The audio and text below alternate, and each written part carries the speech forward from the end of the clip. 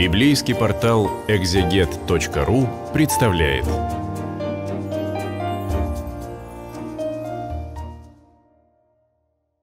Приветствую вас, дорогие братья и сестры, на библейском портале «Экзегет».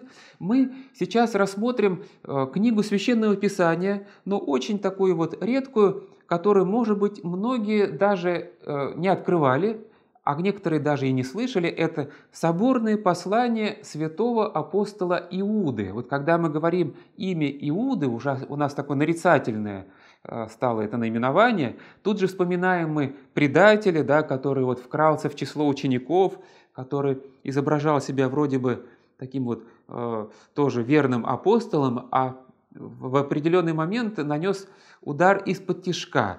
Но на самом деле имя Иуды в первом веке было очень и очень распространено. И вот из Евангелия мы знаем, что а, были братья Господни, да, то есть те, кто а, родился от Иосифа Обручника, от первого его брака. Ну, либо другая, есть такая версия, что это двоюродные братья э, Спасителя, то есть, возможно, у него были именно двоюродные братья, и даже вот перечисляются их имена, их четверо. Это Иаков, Иосия, Симон и Иуда.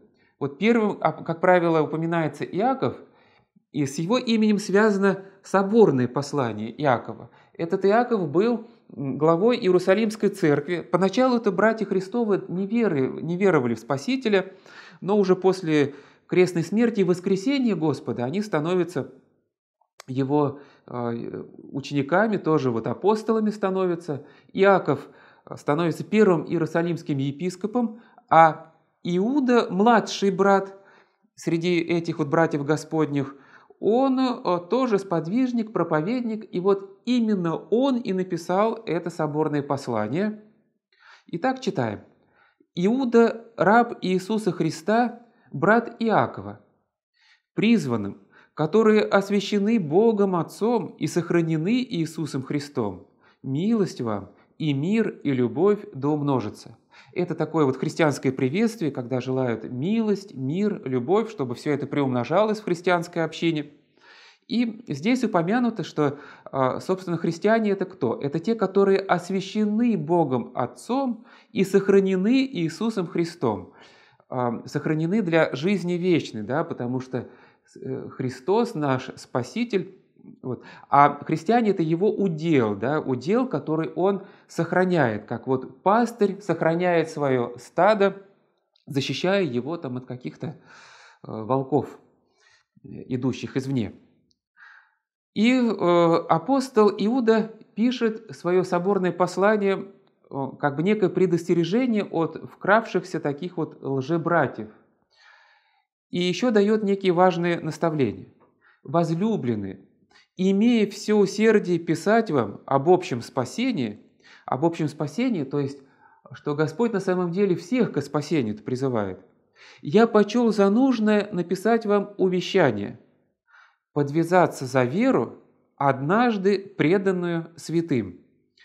То есть, э, фактически здесь идет э, о чем речь? О том, что вот первым христианам когда-то однажды передана вера.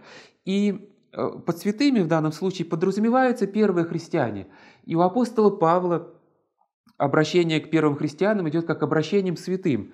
Святые, ну, в каком смысле? Э, конечно же, в том смысле, что они освящены Христом. Они одна, один, так сказать, удел Христов. Э, собственно, святость, святость – это исключительно Божие качество – только один по природе свят, свят Господь Бог ваш. Но Он говорит, будьте святы, как свят я, Господь Бог ваш. Это еще в Ветхом Завете мы читаем. Таким образом, святость человеческая – это приобщение к святости Божией, а эту святость дарует людям Христос.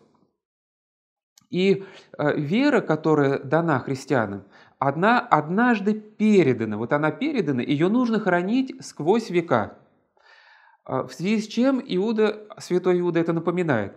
«Ибо вкрались некоторые люди, издревле предназначенные к всему осуждению, нечестивые, обращающие благодать Бога нашего в повод к распутству и отвергающиеся единого владыки Бога и Господа нашего Иисуса Христа».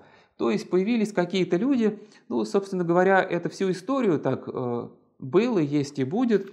И Спаситель говорил, что будут вот эти вот плевелы, и он говорил, должно прийти соблазн. Горе миру от соблазнов, ибо должно прийти соблазном, да, но горе тому, через кого соблазн приходит. Появлялись вот эти люди, сказано, что они обращали благодать Божию в повод к распутству. Ну, видимо, о чем идет речь? О том, что а, Божьей благодатью людям стали отпускаться грехи, прощаться грехи.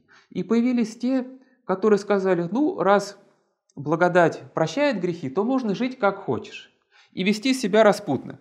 И в наши дни, кстати, вот тоже у нас может возникнуть такой соблазн, что вот мы ходим на таинство покаяния, на таинство исповеди, и мы говорим, ну вот, слава Богу, слава Тебе, Господи, грехи нам отпустились, поэтому мы дальше тоже до следующей исповеди можем как, как следует нагрешить, потому что и на следующем таинстве исповеди нам опять все это отпустится. То есть Божья благодать, она, так сказать, вот безмерна, Господь любвеобилен, и вот Он, э, сколько ни приходи, Он все прощает, поэтому от исповеди до исповеди можно жить э, буквально в каком хочешь распутстве. И э, вот это, кстати, страшная ловушка. Почему? Потому что когда человек привыкает грешить, он уже потом просто без этого не может. А исповедь становится какой-то такой внешней формальностью для успокоения совести. Но жизнь-то его не меняется. Вот он грешит, грешит, пришел там, э, пожаловался на самого себя батюшке, вот я и такой и сякой, э, как мне плохо, батюшка его утешил, мол, ничего, Господь милосерден, покаялся, слава Богу, грех отпустил, он пошел и опять так же живет. И в итоге такой человек э, обманывает сам себя, то есть не прикладывая внутренних усилий, да, он как раз вот Божию благодать, как пишет апостол, обращает в повод к распутству. Э, и в этом смысле он действительно отвергается Господа нашего Иисуса Христа. Ведь Господь за нас кровь пролил. Для чего? Для того, чтобы мы очистились от этих грехов и опять не возвращались к ним, чтобы мы не становились опять распинателями Христовыми, а мы как бы очистили, потом идем и опять распинаем его. Вот что страшно. То есть вот и тогда уже, как говорит он, вкрались некоторые люди, да, то есть как бы э, вкрались как э, ну, некоторые лазутчики, да, или как змея вот вползает в помещение через какую-то там узкую щелочку, вот они вкрались, и они благодать обращают в повод к распусту. И апостол дает нам очень строгое напоминание. Вот, понимаете, если читать без таких комментариев, то получается так, что мы как бы пробегаем словами, не поймем, о чем идет речь. А вот если рассматривать каждый стих, то да, тут уже открываются более такие а, устрашающие вещи. Вот он говорит, я хочу напомнить вам, уже знающим это, что Господь, избавив народ из земли египетской, потом неверовавших погубил. О чем идет речь? Вот Господь, помните, посредством Моисея выводит народ из плена египетского, и мы там читаем, что 10 казней, да, вот. Ну, конечно, египтяне, они вели себя несправедливо, э, всячески там издевались над израильтянами, и э, то такие казни, там, то мухи песит, а то там вода в кровь, то жабы там совсюду лезут, и, и в квашнях там они, и в постелях, и везде сил нет никаких, и так далее. И мор, моровая язва, и в конце концов вот каждый первенец умирает у египтян, то есть страшные такие казни, а Господь свой народ выводит как бы неких таких избранников, проводит сквозь Красное море, туда за ними войско фараонова, и тоже тонет э, фараонов войско, то есть волны э, сомкнулись, а народ выведен. Да? Получается, что как вот по маслу все такое идет. А на самом деле нет, братья и сестры. То есть Господь благодатью своей, да, Он может вывести тебя вот из любой беды. Но если ты живешь как попало, то и тебя Бог накажет и накажет еще хуже. Да, Он египтян потопил в Красном море, там первенцев э, погубил, э, каждый получил заслуженное. Но что стало с этим народом? Да он весь полег в пустыне. Он вышел из египетского плена, но до обетованной земли так и не дошел. Точнее, они дошли, испугались, что там слишком сильные, так сказать, вот, э, воины, и побоялись вот сходу как бы идти, и за это они были наказаны 40-летним странством, и все, практически, почти все, э, умерли, умерли в этой пустыне. То есть те, кто родились в Египте, умерли в пустыне, на пути между Египтом и обетованной землей.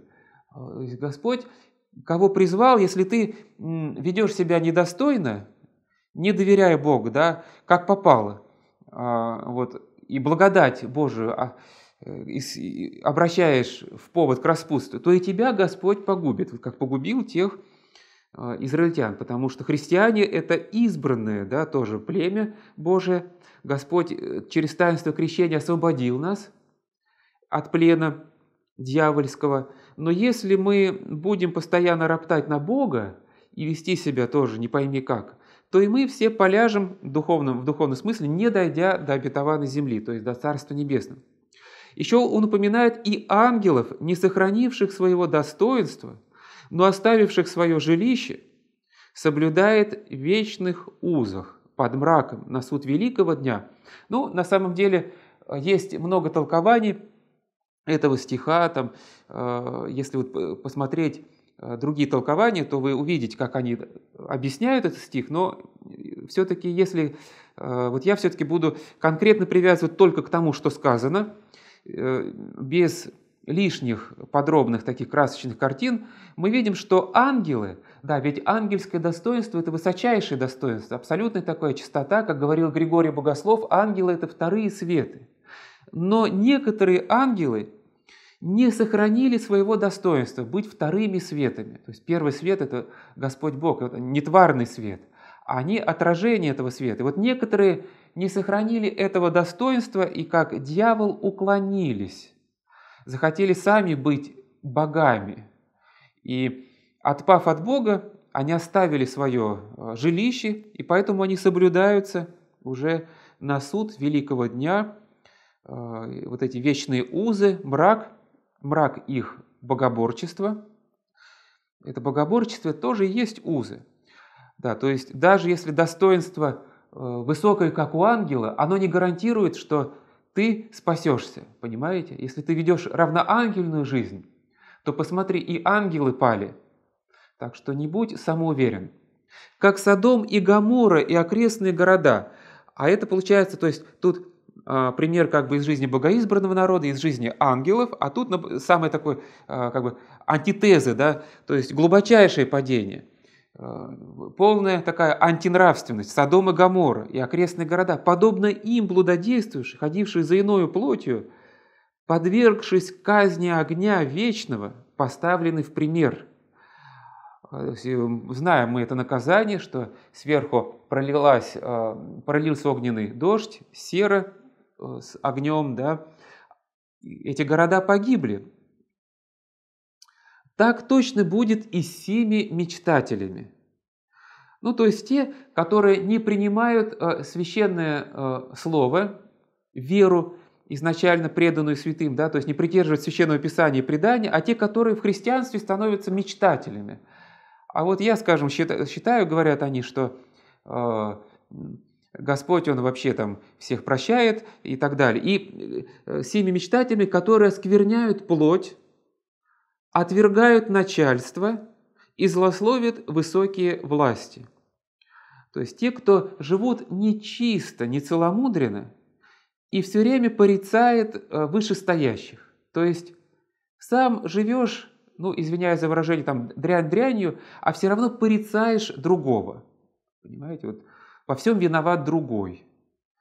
А, ну кто? Начальники виноваты, а, правители, а, соседи, жена, ну кто-то, кроме меня, так сказать.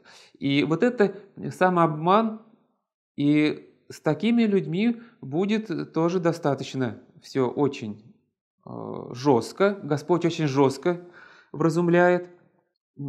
Здесь вот апостол Иуда, он именно э, предостерегает вот именно такой дерзости, понимаете, когда злословят кого-то другого, да, вот не замечая своих собственных грехов.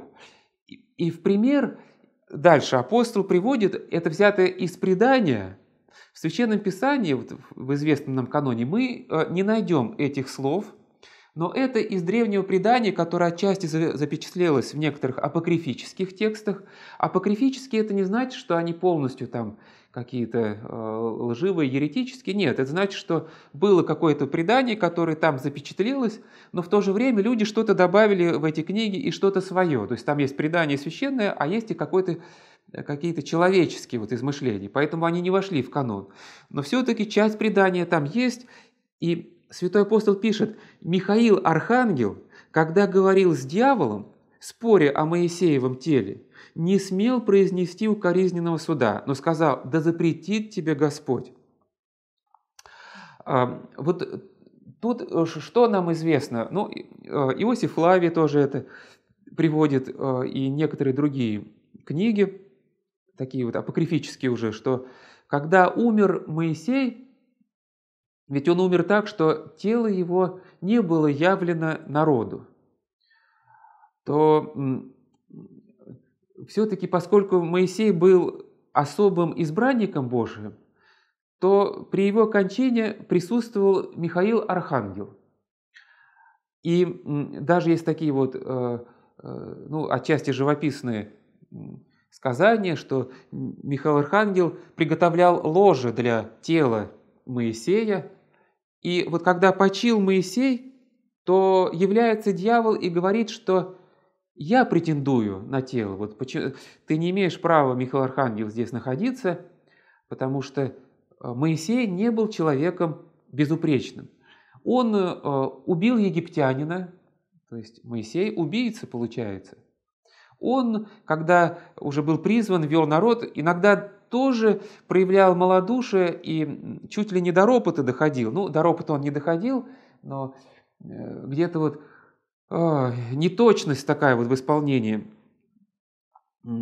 воли Божией, да, когда сказано было, ты скажи слово, и будет а, а, вода этому народу, а он ударил два раза посохом, как бы выражая недоверие Слову Божию. То есть где-то у него тоже такие вот колебания внутри были. То есть Моисей не безупречный, как и всякий, собственно, человек. То есть вот я претендую на его тело – а для чего нужно было э, дьяволу тело Моисея? Ну, тут разные версии. Одна из версий та, что он хотел как раз вот явить народу тело Моисея, чтобы люди стали обожествлять самого Моисея, поклоняться его телу, а люди в то время, они слишком впадали вот в поклонение чему-то вещественному, да, в такое языческое. Когда мы почитаем мощи святых, то для нас э, не становятся идолом, истуканом мощи какого-то святого угодника, а они как храмы Духа Святого. То есть в них обитает благодать Божия, и посредством мощей святых мы на самом деле приобщаемся Божьей благодати, и мы обращаемся поэтому тоже посредством святых к Богу. А вот э, дьявол пытался, в любом случае, э, ради чего бы он не просил тело Моисея, не, на, не на добро он просил, но архангел Михаил не стал бросаться какими-то злыми словами, да, э, злословить его. Он сказал просто вот «да запретит тебе Господь». И вот таким ответом, именем Божиим он воспрепятствовал дьяволу. А сии злословит то, чего не знают. То есть он говорит, про что вот апостол говорит, что даже Михаил Архангел, когда ему явился дьявол, он никакими дурными словами не бросался, а просто сказал, да запретит тебе Господь, все, я не хочу тебя слушать.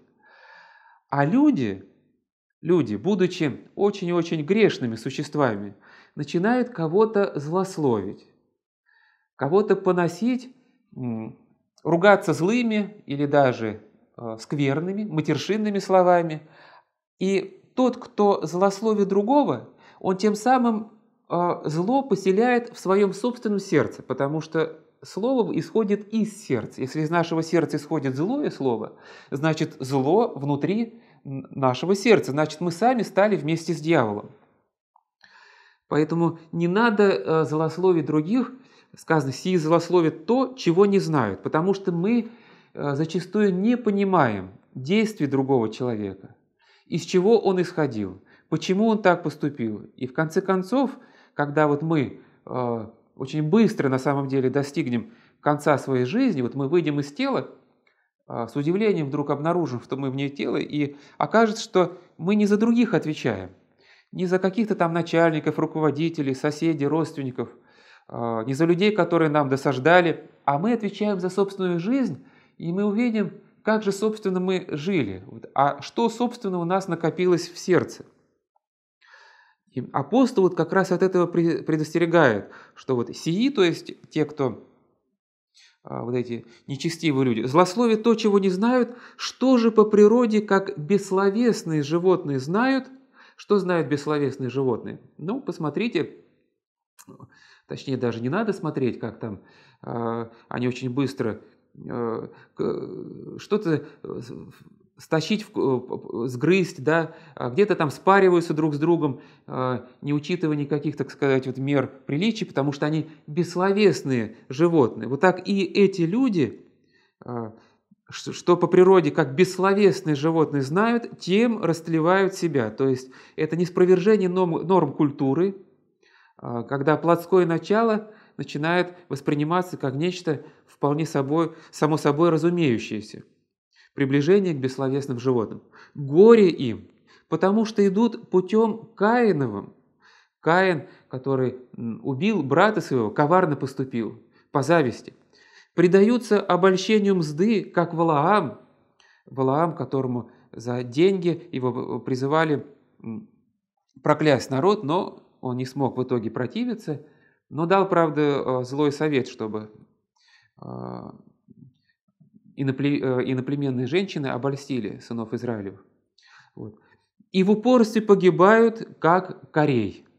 Корей – это из истории вот, шествия как раз народа э, израильского уже э, в сорокалетнее странствие, когда Корей и некоторые другие еще его сподвижники, они возмутились против Моисея и говорили, ну, кто нас ведет, какой-то там косноязычный, гугнивый вождь, Э, не настолько волевой, не настолько там, э, э, величавый, и они хотели тоже получить некую часть власти. И тогда произошло испытание, и Корея и его сподвижники провалились буквально в землю, были охвачены огнем. То есть вот участь тех, кто посягает на незаконную, незаслуженную ими власть, таковые бывают соблазном на ваших вечерях любви. То есть вот эти э, люди, которые вовсе не являются по духу христианами, но хотят э, нажиться от христиан. Они вступают в христианские общины. А что совершалось в христианской общине? Это вечери любви, агапы, которые завершались таинством Евхаристии где друг с другом вот поискренне, э, во-первых, делились э, какими-то э, жертвами, да, помогали неимущим, и самое главное – это таинство причащения, приобщение к Господу Иисусу Христу. А вот так, таковые лжебратья бывают соблазном на ваших вечерях любви, пиршествуя с вами, без страха уточняют себя. То есть они вкрадываются в христианские общины, чтобы нажиться за счет христиан – чтобы э, просто вот получить себе, э, особенно страшно, если вдруг такой человек захочет получить э, какой-то сан священный, да, и наживаться за счет людей, какое-то положение среди христиан. Вот от этого предостерегают святые апостолы. И вообще от лже-братьев, от тех, кто говорит «я христианин, христианин», а живет только для себя, руководимый своими бессловесными страстями – и о всех таковых святой апостол Иуда отзывается очень жесткими, хотя и красочными эпитетами. Это безводные облака, носимые ветром. А безводные облака считалось так в израильских местах, что это, ну, буквально такие вот перистые облака, на самом деле они очень красивые.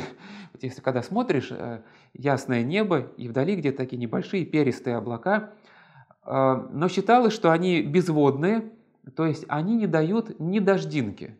И вот то же самое, когда некие лжебратья, которые могут быть, кстати, очень красноречивы, э, показывать себя невероятными ораторами, но ничем не поделятся, ничего не, э, никогда не пожертвуют. То есть они безводные, ни капли милосердия у них нет. Дальше читаем. Э, «Осенние деревья, бесплодные, дважды умершие, исторгнутые».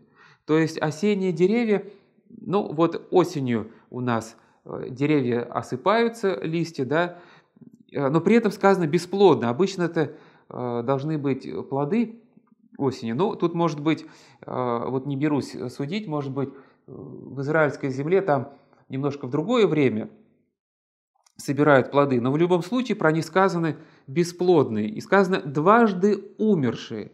Вот когда наступает зима, то деревья кажутся умершими. А, почему? Потому что они, на них нет зеленой листвы, они как бы безжизненные. Но весной они воскреснут. Появится вновь жизнь. А дважды умершие, это значит, что они и видимым образом умерли, и на самом деле, то есть корень их иссяк. А, как про них сказано, как бы исторгнутые, да, с корнем исторгнутые. И вот это вот страшно, когда какой-то человек, он является дважды умерший, есть две, два воскресения, две жизни. Вот в Священном Писании говорится, что есть, а, и, и, и две смерти есть. То есть какая смерть? Вот бывает а, смерть телесная, когда мы болеем, у нас же тело вот истощается, но эта смерть не настолько страшна. Страшна смерть вторая, то есть смерть греховная, когда какой-то человек, он, э, умирая для жизни вечной, он и не жил никогда для вечности, а вот только э, для своего эгоизма жил. Вот этот дважды умерший человек, э, для земной жизни он умрет в конечном итоге, а самая страшная смерть – это духовная смерть. А, но есть, мы знаем, два воскресения, то есть воскресение духовное, когда мы воскресаем от грехов, и будущее, грядущее воскресение, когда мы воскреснем и телесно. Но эти э, лж, э, лжехристиане, которые наживаются за счет христианских общин, про них еще что сказано? Свирепые морские волны, пенящиеся срамотами своими. А, как и сейчас подчас вот э, где-то э, на широком экране, да, или в интернете э, кто-то вот пенится с ромотами своими, как некие свирепые морские волны, да. Еще сказано «звезды блуждающие», которым блюдется мрак тьмы навеки. Что это за звезды блуждающие? Ну, обычно мы видим, что на небосводе каждая звезда, она находится на своем месте. То есть а, составляются какие-то вот созвездия, да, то есть э, каждому предмету э, уделено свое место от Бога. И вдруг оказывается, что некоторые звезды, они не хотят быть на вот поставленном месте, на положенном, они как бы блуждают. Да? Особенно, когда видим мы падающую звезду, ну, понимаем, что это может быть небольшое космическое тело, которое вот вторглось в атмосферу, вот оно ярко сверкает, но оно погаснет, понимаете?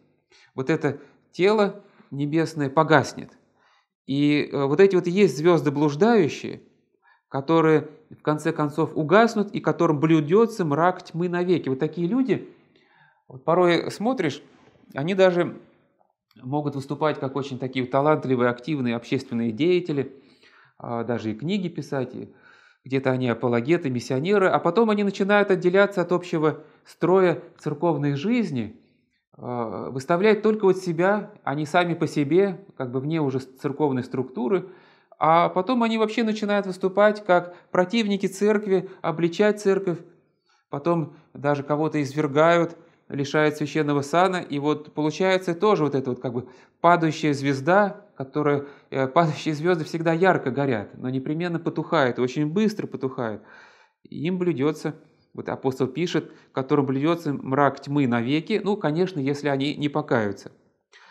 И дальше апостол приводит еще тоже из священного предания. Это слова вошли в апокрифическую книгу Еноха.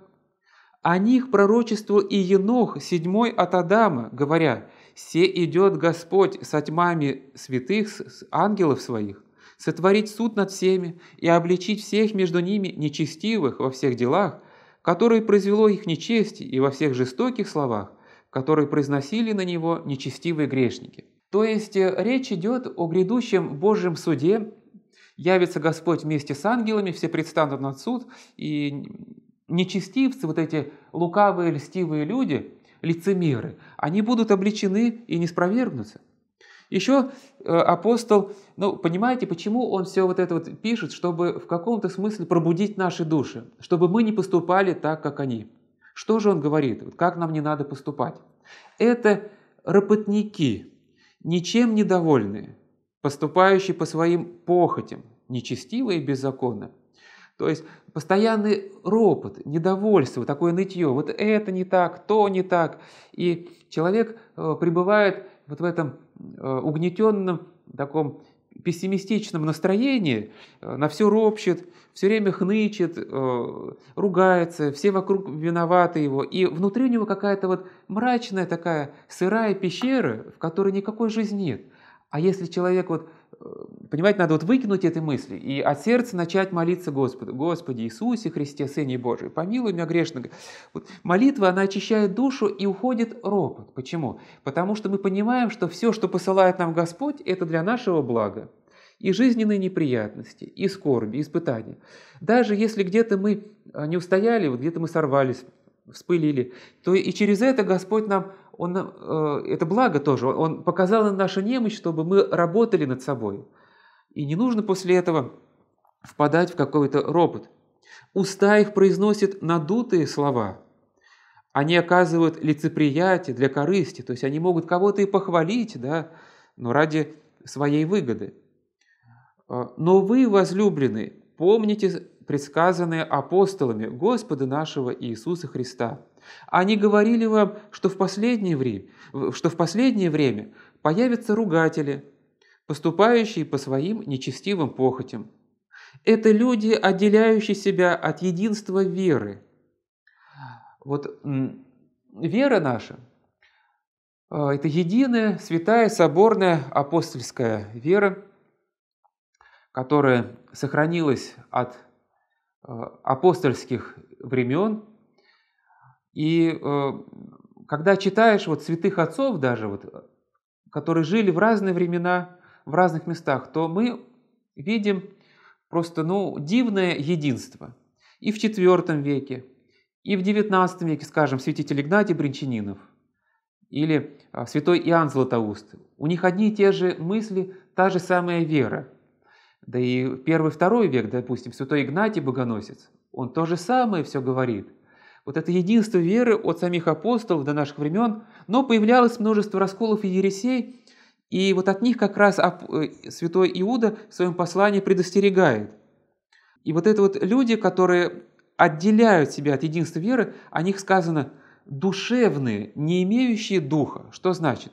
Что они могут быть, конечно, душевно э, такими, вроде казаться э, крепкими по жизни, да, но бывает так, что человек крепкий душой – а духовности в нем нет.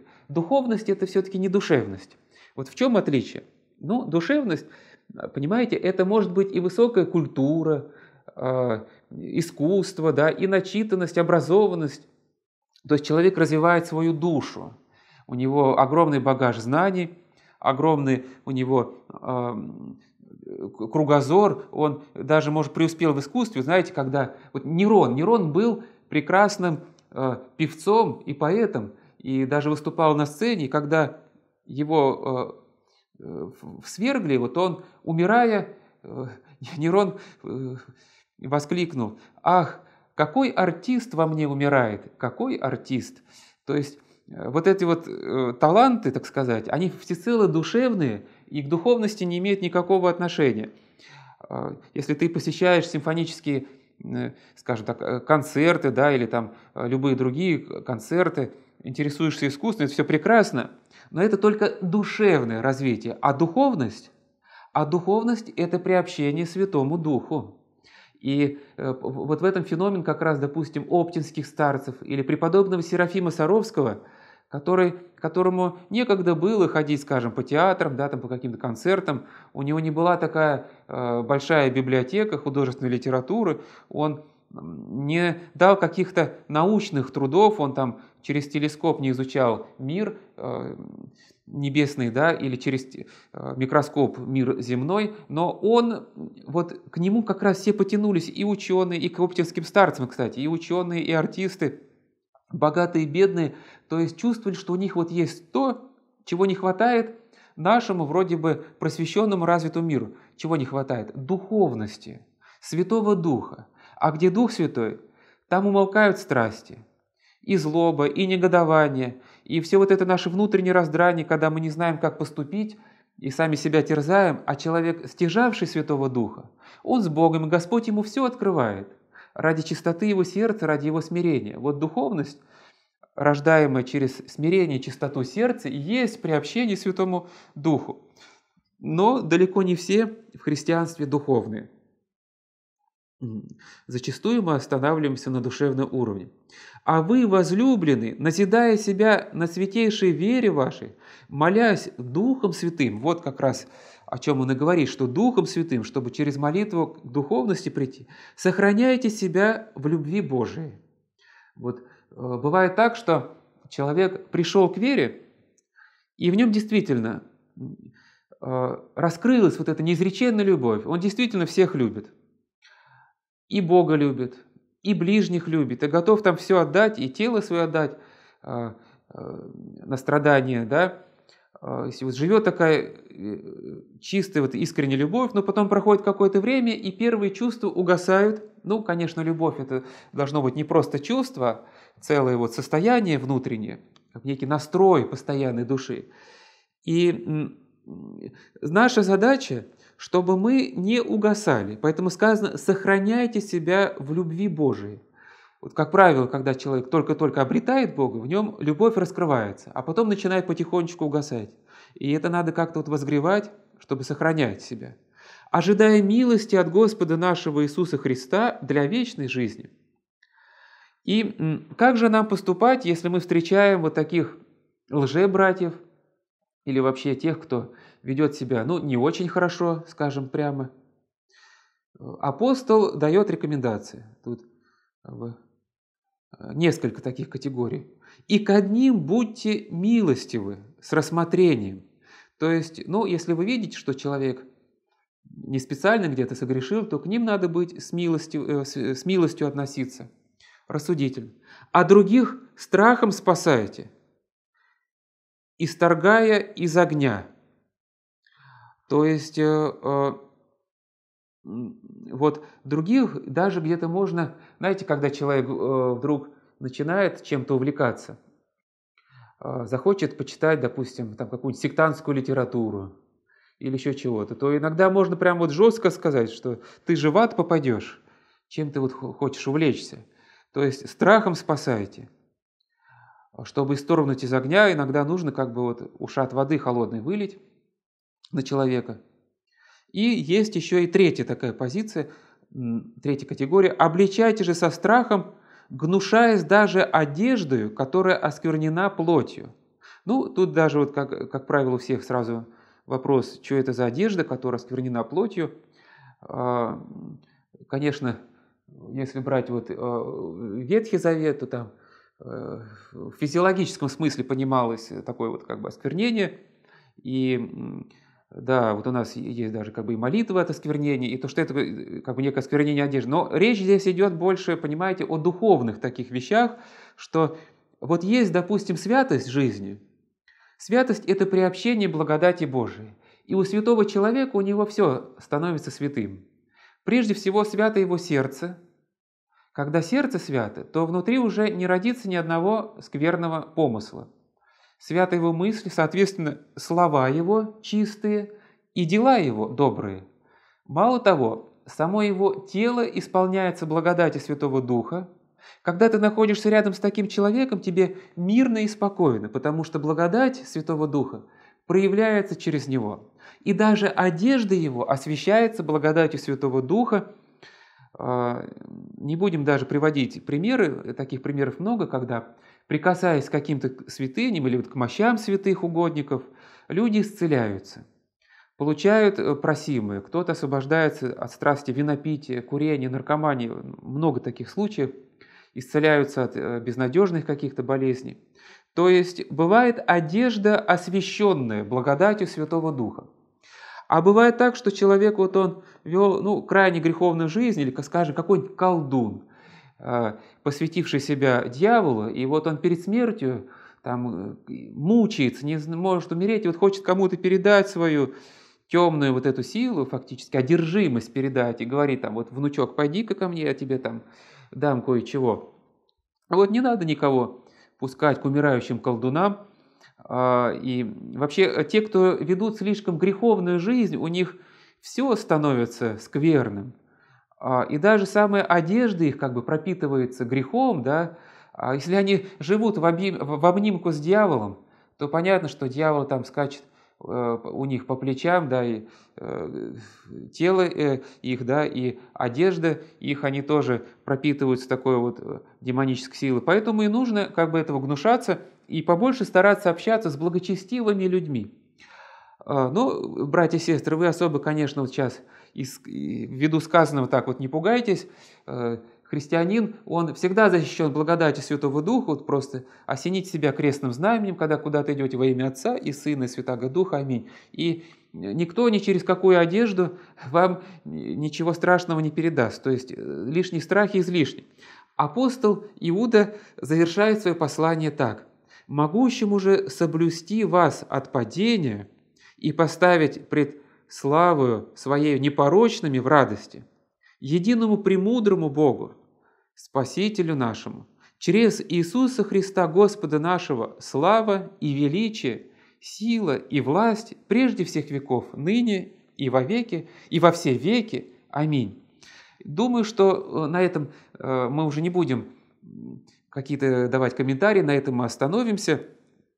Самое главное, братья и сестры, хранить свое сердце чистым, не роптать, о чем призывает нас, к чему призывает нас святой апостол, быть довольными тем, что Господь нас, нам попускает, и хранить ту веру, которую вот Господь передал через апостолов и которая сохранилась вплоть до наших дней. Аминь. Храни всех Господь, дорогие братья и сестры.